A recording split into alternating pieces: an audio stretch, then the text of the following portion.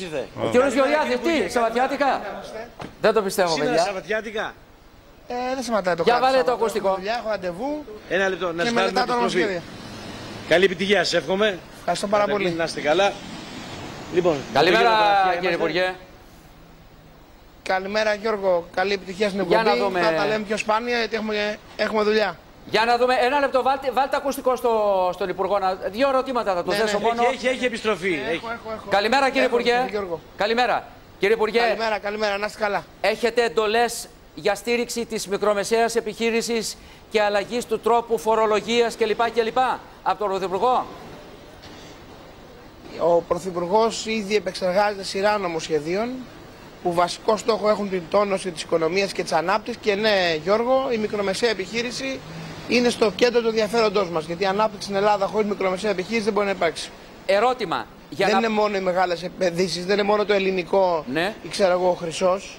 Είναι η μικρομεσαία επιχείρηση, ο ελεύθερος επαγγελματίας, ο μικρομεσαίος. Δεύτερο, ελληνικό. Πότε μπαίνει μπρος η υπόθεση του ελληνικού, κύριε Γεωργιάδη; Να σταθεροποιηθεί η κάμερα, είναι εύκολο, παρακαλώ.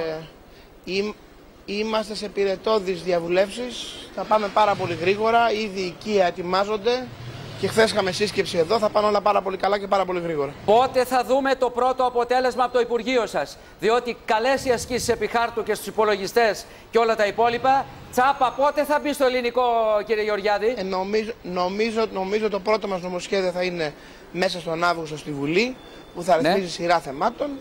Οι οικία θα έχουν εκδοθεί αρχές Αυγούστου ή μέσα Αυγούστου, εν πάση περιπτώσει, άρα θα ανοίξει ο δρόμος για το ελληνικό. Ναι. Θα βλέπετε πράγματα με πολύ μεγάλη ταχύτητα να γίνονται. Το τονίζω να γίνονται. Λοιπόν, ευχαριστώ πολύ. Πρέπει να Άρα, ανέβω ε, πάνω. ο, ο, ένα λεπτό, ένα Ευχαριστώ λεπτό, πάρα πολύ, ένα Γιώργο, λεπτό, να είστε ένα καλά. λεπτό, κύριε Υπουργέ. Ένα Ναι. λεπτό. Έχετε πολλή δουλειά. Γιώργο μου, έχετε... έχω δουλειά. Ναι. Έχε... Το ξέρω ότι έχετε δουλειά. Σήμερα τι έχει. Η σύσκεψη τι έχει σήμερα; Τι έχει σύσκεψη σήμερα στο Υπουργείο σας; Έχουμε, έχουμε, έχουμε την επεξεργασία του νομοσχεδίου που ετοιμάζουμε, Γιώργο. Ποιο νομοσχέδιο είναι αυτό; Εντάξει.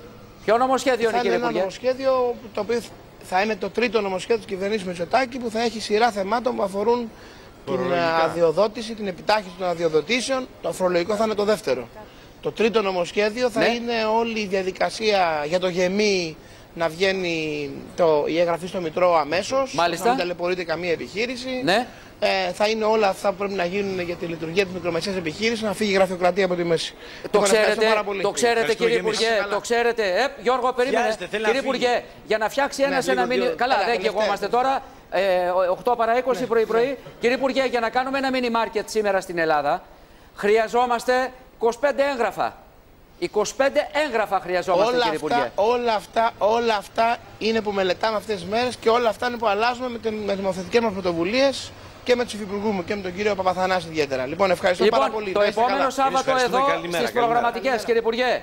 Το επόμενο Σάββατο Καλημέρα, μετά, μετά με τις το προγραμματικές, φάκελο Γιώργο, εδώ. Μετά τις προγραμματικές. Με το φάκελο του Μητσοτάκη Α, τον τρέχει ο εδώ. χρόνος τώρα, θα τον τρέχει πιέζω ο εγώ χρόνος. συνέχεια.